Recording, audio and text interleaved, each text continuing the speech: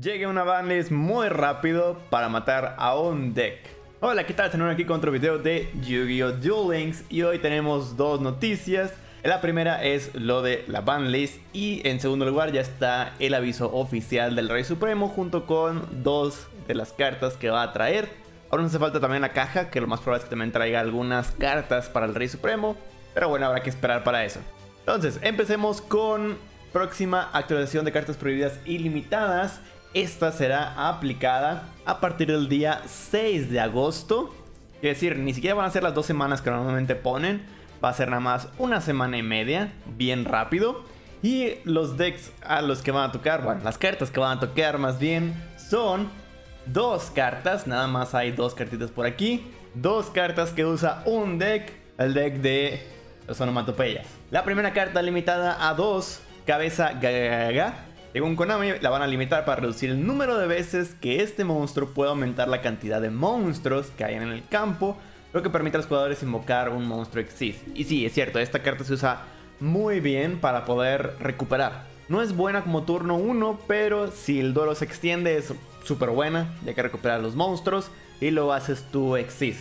Generalmente recuperabas a la hermana junto con un monstruo nivel 4, activabas efecto de la hermana, los convertías a nivel 6 y listo, Exist rango 6. Y eso te da jugada para luego pasarte a ya sea un Exist rango 6 que no hayas usado o el Ex Escarabajo para luego convertirlo en precisamente la siguiente carta que está limitada a 2, el bicho digital Escarabuz.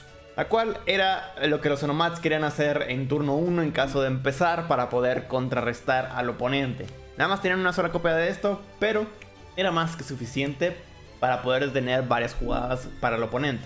Así que ya estar tocando estas dos cartas y además que tengan a la hermana limitada a dos, prácticamente están diciendo no puedo usar a este. Y además muy probablemente ya nada más se queden con una copia de la cabeza junto con una copia de la hermana. Ya tampoco van a poder usar traicionero, ninguna carta limitada a dos prácticamente. Ya que creo que cabeza sí es una buena carta para tener una copia. Así que esto va a afectar mucho al deck. Pues en primer lugar, van a tener que regresar en lugar del escarabajo, van a tener que usar el bouncer otra vez para poder tener carta que invocar en turno 1. Por ahí no hay tanto problema. Pero aquí es donde metemos el problema. El meta actual ya es más cartas de magia trampa que te detienen tus jugadas. Por lo tanto, tener una jugada después es mejor en estos momentos. Entonces, el hecho de que ya no me estén limitando a una copia a la cabeza, porque no creo que quiten la hermana, esto es lo que realmente les va a afectar. En otras palabras, tendrán que volver a intentar hacer OTKs para poder ganar el duelo antes de que tengan que recurrir a más cabezas para poder recuperar campo. Pero bueno, aquí los jugadores Onomats me pueden decir en los comentarios cómo creen que vaya a quedar el deck, si realmente creen que el deck vaya a morir o no. Y bueno, así es como creo que va a quedar el deck. Como dije, ya sin el escarabajo, ya nada más una copia del Gaga, una copia de la hermana. Y siento que eh, la gente va a tratar de meter más cartas destructivas, ya sea de magia trampa pura o más copias del relámpago Gaga para poder destruir cualquier cosa. Ojo, aquí no tengo juego, por eso es que no está la habilidad, pero obviamente es juego. Entonces sí, Creo que esto va a ser eh, lo estándar, como dije, Bouncer va a ser el necesario, al que van a tener que recurrir para tener jugada en turno 1. Y ya aquí tenemos un espacio extra, digo, si no se ven tantas Harpies, pues obviamente este se puede ir y puede entrar otro monstruo. Ahí dependerá. También otro detalle que se me dio a mencionar acerca de esto, del bicho, es que se usa para el deck de los Thunder Dragon. Y a los Thunder Dragon también tienen varias cartas limitadas a 2. Eso quiere decir que si los Thunder Dragon quisieran seguir corriendo esta carta, tendrían que bajarle una copia de sus cartas limitadas a 2. Que siento que sí es posible. Pero creo que la mejor jugada sería cambiar a esta por el Bouncer otra vez.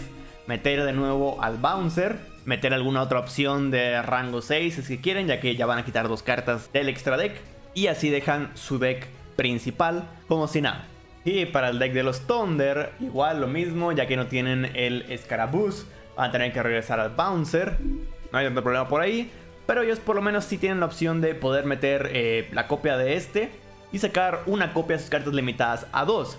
Ya sea que estén usando la versión con el cofre de oro sellado o la versión con los luminosos, la cual tienen esta carta de carga de caballería limitada a 2. Y siento que por el Raiden creo que sería eh, lo mejor, obviamente, Carga de caballería es muy buena para sacar también a Raiden, acelerar al deck, que no te estorben. Pero bueno, como dije, ahí pueden decidir los Thunder Dragon. Creo que por lo menos ellos sí tienen esa ventaja de poder elegir qué hacer. Pero igual, jugadores Thunder Dragon, en los comentarios me pueden decir cómo creen que va a quedar el deck después de esta banlist. Y bueno, como dije, esas son todas las cartas que tenemos por el momento. Les recuerdo, esto es para el día 6 de agosto. Y luego nos vamos a la noticia oficial del Rey Supremo. Muchos ya estaban desesperados por saber a qué hora iba a salir el Rey Supremo. Pues bueno, como había mencionado en el post pasado, este sale el día 29, que es el día que termina Duke Devlin, justo después de Duke, empieza el Rey Supremo.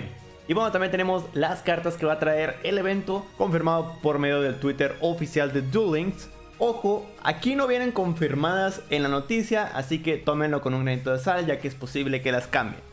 La primera carta, la UR, una carta que ya habíamos visto antes, que cambió de rareza, que sabíamos que iba a ser ya sea para el evento o por subida de nivel del personaje. Infernal Prodigy, si no controlas monstruos, puedes convocarla de modo especial desde la mano. Y si esta carta es sacrificada, para una invocación por sacrificio de un monstruo héroe, vas a poder robar una carta al final del turno. La verdad es que no es la gran cosa, pero bueno, igual podría servir para hacer unos cuantos Exist rango 2, ya que es una invocación de gratis. Y la carta SR es la que sí es nueva, Annihilator Archfiend. Es un monstruo de dos sacrificios, desgraciadamente, pero dice, puedes seleccionar una carta de control de tu oponente y una carta que tú controles destruye ambas. Si destruyes un monstruo boca arriba que sea tipo demonio con este efecto, ganas ataque igual a la mitad del ataque de ese monstruo, con el ataque original hasta el final del turno. Solamente puedo usar este efecto una vez por turno. Ok, digo, lo bueno es que puedes destruir cualquier cosa, eso es lo chido. Pero lo malo es que dos sacrificios, entonces es muy costoso para nada más destruir una sola carta y que además tengas el coste de que también tienes que destruir una de tus propias cartas. Entonces, me no la veo tan guau. Igual, se puede convocar de manera especial, podríamos verle un poco más de utilidad, ya que incluso se puede sacrificar a sí misma para poder destruir otra carta. En cualquier caso. Y listo, esas son todas las noticias que tenemos por el momento. Díganme ustedes qué opinan en los comentarios. ¿Qué creen que nos va a traer el Rey Supremo en su subida de nivel? También qué creen que va a traer la caja. Y también si creen que es justo lo de la banlist en estos momentos. Por parte de eso será todo. Muchísimas gracias por ver este video. Recuerden dejar el like si les gustó. No olviden suscribirse al canal si no han hecho. Y nos vemos en la próxima. Bye bye.